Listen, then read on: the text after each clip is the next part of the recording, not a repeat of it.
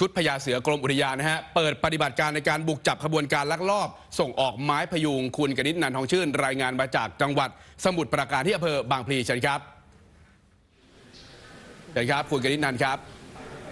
คุณสุภโชคคุณพกามาค่ะ เมื่อสักครู่นี้ค่ะพลตำรวจเอกศิวรารังสิตพามนกุลรองผู้บัญชาการตำรวจแห่งชาติ ได้นำทีมเข้าบุคคลกดดังค้าไม้ผิดกฎหมาย ภายในซอยน้ำแดงบางพี 17ตำบลบางแก้วอำเภอบางพี จังหวัดสมุทรปราการค่ะ จากการตรวจสอบเบื้องต้นนะคะ พบไม้พยุงและไม้ประดู่จำนวนมาก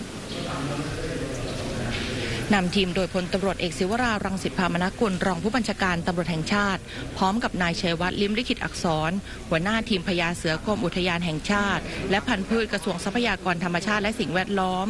กรมป่าไม้และเจ้าหน้าที่ทหารค่ะ ได้ร่วมกันเข้าตรวจค้นโกดังค้าไม้ผิดกฎหมายดังกล่าว จากการเข้าตรวจสอบในครั้งนี้นะคะ ได้เริ่มปฏิบัติการการแกะรอยตามผู้ค้าไม้ในหงชาวจีน โดยนายหงจะเป็นผู้สั่งการให้นายสมชายซึ่งเป็นชาวไทย ไปจัดหาไม้ค่ะ จากนั้นพบว่ารถของผู้ค้าไม้ดังกล่าว ได้นำมาจอดที่โกดังแห่งนี้ ซึ่งเป็นการขนไม้มาจากอุทยานแห่งชาติเขาใหญ่ ทับลานและสีดา โดยขนมาเป็นชิ้น และนำมาบรรจุใส่ลังภายในบริเวณโกดัง จากนั้นค่ะจะทำการขนย้ายโดยใช้เส้นทางเรือท่าเรือแหลมฉบังไปยังประเทศจีน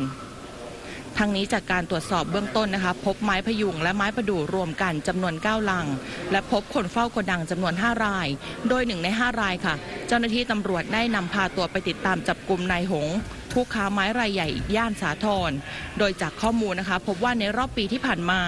มีการขนไม้ออกไปจากโกดังแห่งนี้แล้วกว่า 100 รัง ค่ะ ซึ่งขณะนี้นะคะ เจ้าหน้าที่ตำรวจได้นำตัวผู้เฝ้าโกดังค่ะ ไปติดตามจับกลุ่มนายหง เพื่อนำมาชี้แจงถึงกระบวนการดังกล่าวค่ะ คุณสุประโชคคุณภากามาศครับ ครับ ขอบคุณครับ คุณกนิษฐ์นันครับ